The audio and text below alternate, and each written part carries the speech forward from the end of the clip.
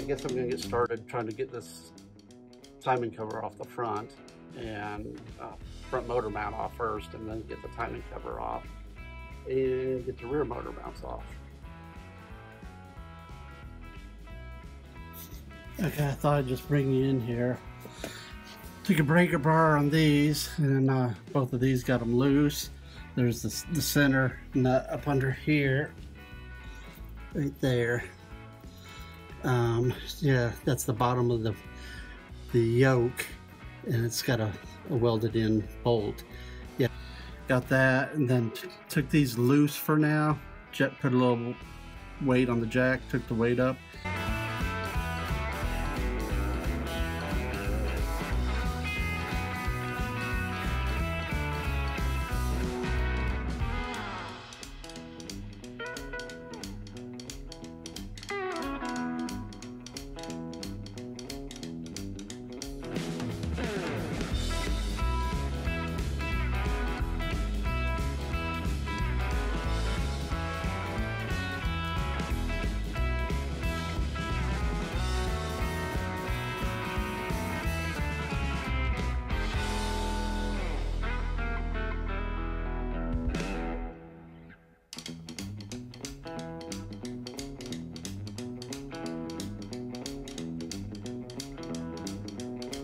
Got the uh, front timing cover off.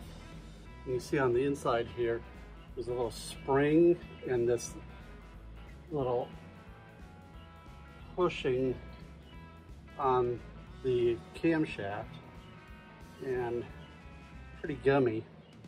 It doesn't stick up hardly at all. I thought it was stuck in, but I guess it's not.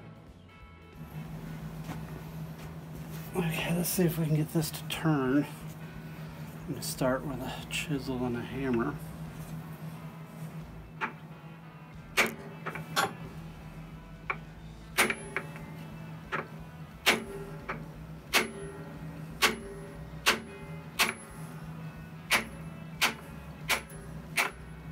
Oh, I think I'm lucky. Oh yeah. Off there. There we go.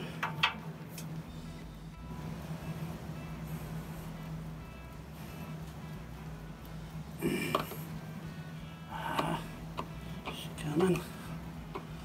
Oh, there she comes. There. Let's see. Oh, there it is right there. Super small. I don't know how you would ever be able to detect that. Like on this new one right there. I've marked it with a marker, so it's real obvious. These holes, they look the same, but this one isn't quite directly across from that one. So the, the pins that you have to line it up on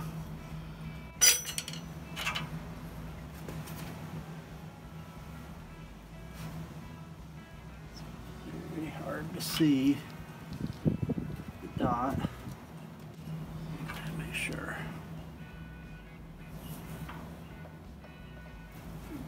Match.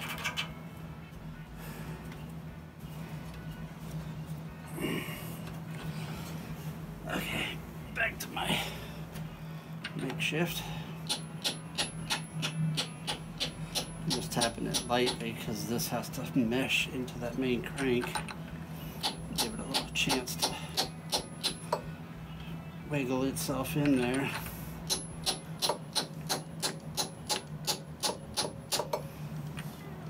Sounds like it's on. Nope. There she is. Solid chunks.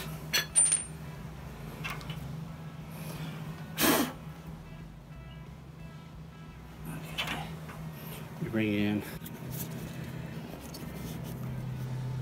so you can see.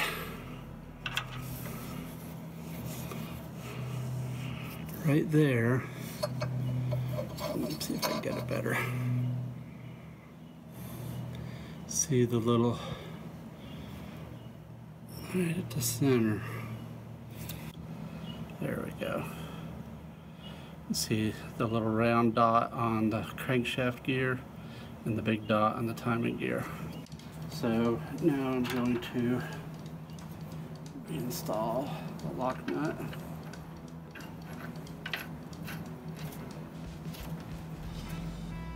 I'm not putting Loctite or anything on it. Some people put Loctite, some people mash the threads down to keep this from coming off. And I don't know these ever have come off on anybody. So I'm not gonna do that. Just take my little hammer here and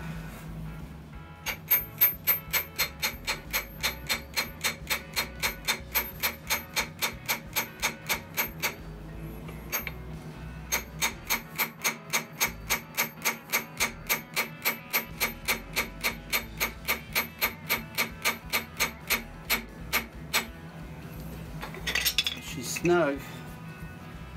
See, some people take the chisel and mash the threads right there, and I don't want to do that.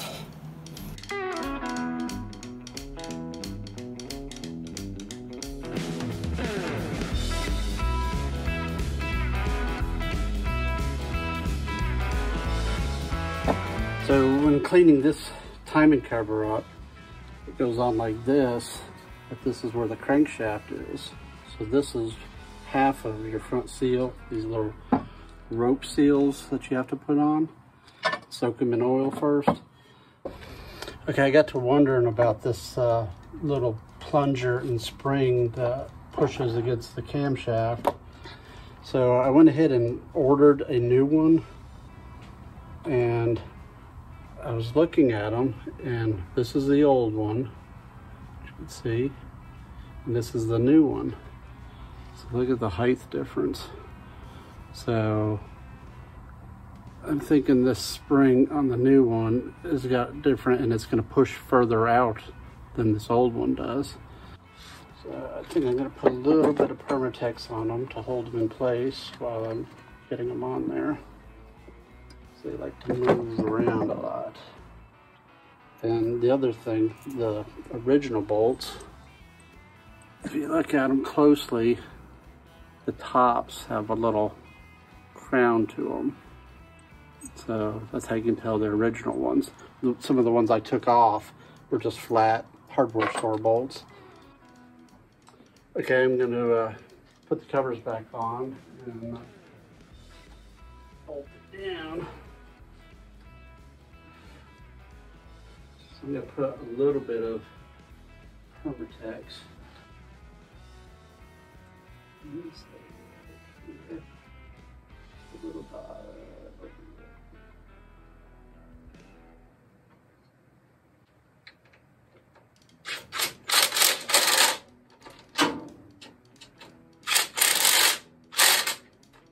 the rope seal in, got the plunger with the spring in, and the gasket.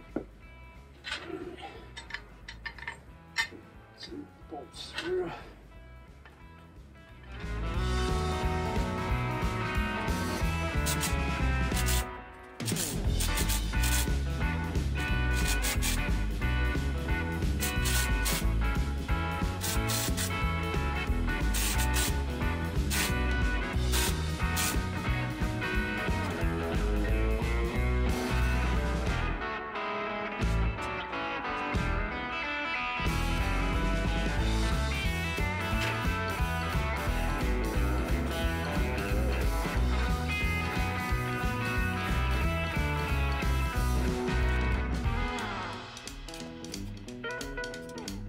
So go back out there and check the other videos.